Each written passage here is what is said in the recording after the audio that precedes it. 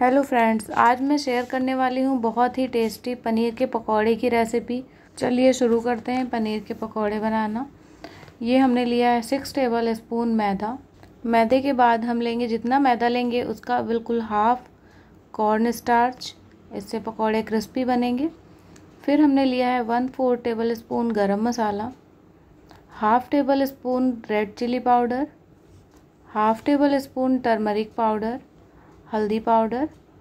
इसके बाद हम लेंगे हाफ़ टेबल स्पून ऑरिगेनो इसके बाद लेंगे one fourth tablespoon chaat masala, नमक स्वाद अनुसार। सारे मसाले लेने के बाद हम एक बाउल लेंगे और इसमें हम मैदा ऐड करेंगे, जो हमने सिक्स टेबल स्पून लिया था। इसके बाद लेंगे corn starch, three tablespoon अच्छी तरीके से कॉर्न स्टार्च और मैदे को मिक्स कर देंगे। दोनों को मिक्स करने के बाद हम इसमें रेड चिली पाउडर ऐड करेंगे ऑरिगेनो ऐड करेंगे। इसके बाद turmeric powder, chaat masala add करेंगे। इसके बाद ऐड करेंगे गरम मसाला। जो मसाले हमने लिए थे वो बिल्कुल सेम क्वांटिटी में वही मसाले ऐड करने हैं। नमक ऐड करके अच्छी तरीके से मिक्स कर लेंगे। फिर इसमें थोड़ा थोड़ा करके पानी ऐड करेंगे। सारे मसालों को अच्छी तरीके से मिक्स करके इसका अच्छा स्मूथ पेस्ट बना लेंगे। ये देखिए, पनीर के पकौड़ों का अच्छा सा स्मूथ पेस्ट बन के तैयार हो गया है। कुछ इस तरह से दिखेगा। इसके बाद हम लेंगे 250 ग्राम पनीर और इसे अच्छे तरीके से कट कर लेंगे। आप जिस शेप में कट करना चाहें, उस शेप में कट कर सकते हैं। मैं इसे लंबे लंबे पीसेस में कट कर रही हूँ। फ्रेंच फ्राइज़ की तरह। खाने में टेस्टी लगते हैं। पनीर के सारे पीसेस कट करने के बाद हम गैस पे एक तवा रखेंगे और उस पर थोड़ा सा ऑयल डालेंगे और अच्छी तरीके से फैला देंगे। ऑयल को फैलाने के बाद जो हमने पनीर के पीसेस कट किए थे, उन्हें हम रख देंगे तवे पे अच्छी तरीके से। मैं नॉन स्टिक पैन यूज़ कर रही हूँ। आप चाहें तो आयरन का भी यूज़ कर सकते हैं। पनीर को अच्छी तरीके से तवे पे डालने के बाद हम इसमें हल्दी पाउडर स्प्रिंकल करेंगे। थोड़ा सा, एक चुटकी। और रेड चिली पाउडर भी एक चुटकी इसमें ऐड कर देंगे ऊपर से। फिर एक तरफ़ से हल्की सी कुक हो जाएगी पनीर।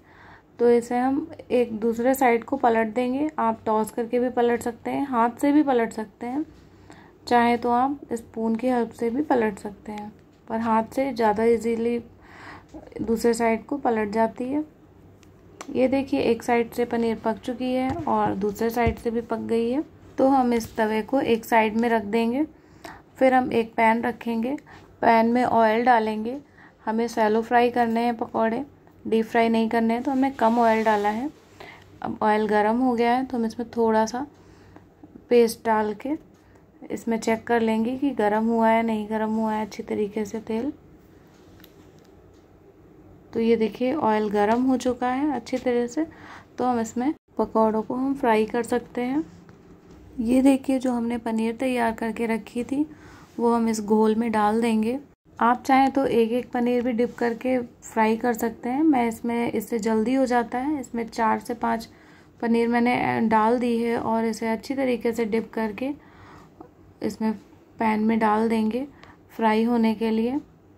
ऑयल गर्म है, इसलिए आराम आराम से डालना है। सारे पनीर को पैन में डालने के बाद इसे हम तीन से चार मिनट तक एक साइड में कुक होने देंगे, जिससे गोल्डन कलर के पकौड़े बन के तैयार हो जाएँगे एक साइड से। फिर हम ये तीन से चार मिनट होने के बाद हम इसे दूसरे साइड को पलट देंगे। सारे पकौड़ों को दूसरे साइड को पलट दिया है तो इसे भी तीन से चार मिनट पकने देंगे। चार मिनट बाद हम देखेंगे ये पकौड़े दूसरे साइड से अच्छी तरीके से पक चुके हैं तो इन्हें हम दो से तीन मिनट तक ऐसे ही उलट पलट के फ्राई कर लेंगे अच्छी तरीके से। पनीर के पकौड़े चारों तरफ़ से अच्छी तरह से क्रिस्पी हो चुके हैं तो अब हम इन्हें एक प्लेट में निकाल लेंगे अच्छे तरह से। ये देखिए, क्रिस्पी पकौड़े बनके तैयार हैं। अब आप इसे इंजॉय कर सकते हैं। इन पकौड़ों को आप स्नैक्स में टी टाइम में ब्रेकफास्ट में कभी भी इंजॉय कर सकते हैं। बहुत ही टेस्टी बहुत ही क्रिस्पी पकौड़े बनके तैयार हुए हैं। आप ये रेसिपी प्लीज़ एक बार ज़रूर ट्राई करिएगा। फिर कमेंट बॉक्स में बताइएगा आपको ये रेसिपी कैसी लगी। आपको ये पनीर पकौड़ों की रेसिपी पसंद आई हो तो प्लीज़ लाइक शेयर सब्सक्राइब कीजिए। Thank you everyone